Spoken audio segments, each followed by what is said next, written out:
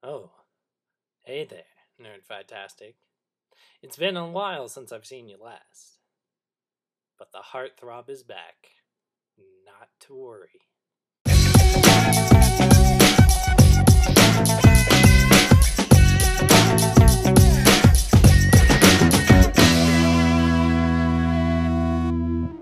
Trying out a new hairdo today. A comb over. Gotta love it.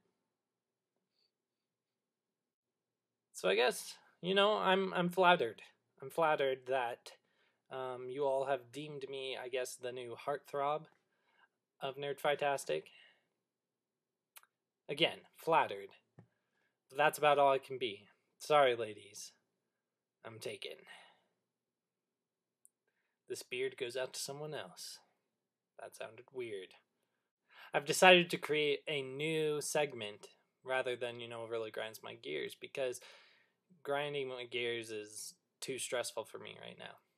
Anyway, my new segment is called You're Welcome, Ladies.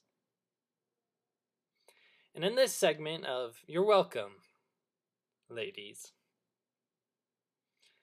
I will be taking my shirt off. But don't worry, it's not as inappropriate as you think, so you're allowed to watch. Now, on to the important stuff Harry Potter and the Deathly Hallows. I saw the midnight premiere, and I thought at first glance it was definitely amazing.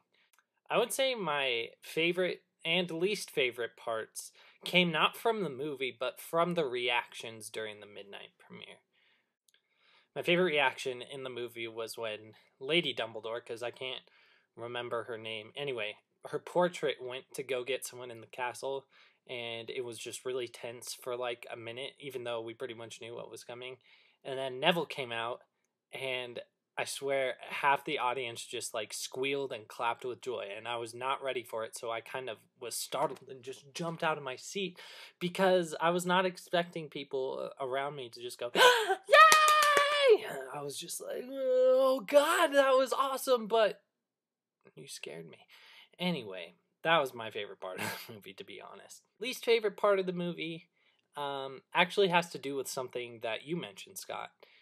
Scott, while I agree with you that the end of the book was an extremely emotional time for me and uh, pretty much every reader that read the book, I thought that the movie symbolism kind of covered a lot of what the book had to offer, especially that scene with the Elder Wand at the end where he snapped it in half and threw it off the bridge.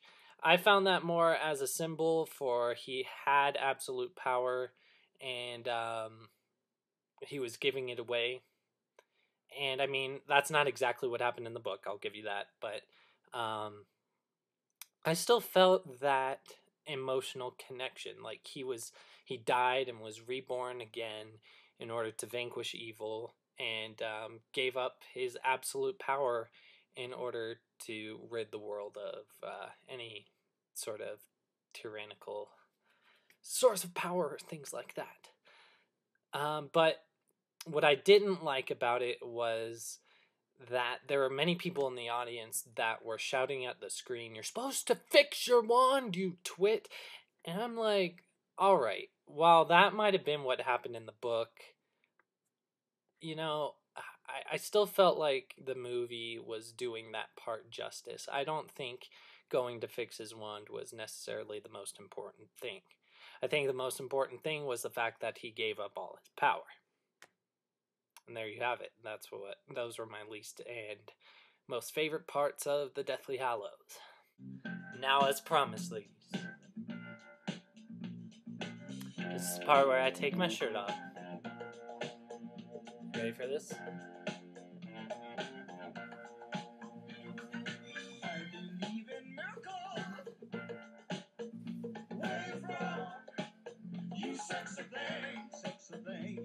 You're welcome, ladies. Dave, I'll see you tomorrow.